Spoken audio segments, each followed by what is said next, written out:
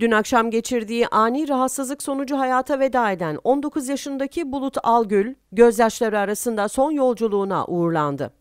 Bodrum siyaset, iş ve sosyal hayatının tanınan ve sevilen isimlerinden AK Parti eski ilçe başkanı, turizmci, iş insanı Yılmaz Algül'ün 19 yaşındaki oğlu Bulut Algül, dün akşam ailesine ait otelde bulunan dairelerinin balkonunda spor yaparken aniden rahatsızlandı. Bulut'un bayıldığını fark eden ailesi hemen 112 ekiplerinden yardım istedi. Gelen ekip tarafından müdahale edilerek Acıbadem Hastanesi'ne kaldırılan genç yapılan tüm müdahalelere rağmen kurtarılamadı. Bulut'un ani kaybı Bodrum'da büyük bir üzüntüye neden oldu.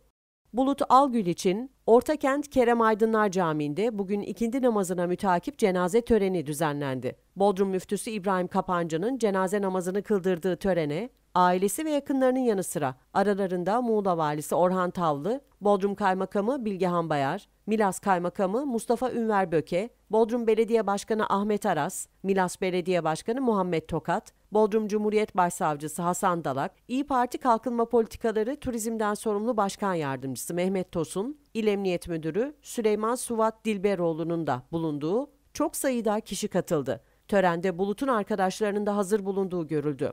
Kılınan cenaze namazının ardından cenaze gözyaşları arasında Ortakent mezarlığına defnedildi. Bulut'un naaşının toprağa verilmesinin ardından anne Dicle ve baba Yılmaz Algül taziye dileklerini kabul etti.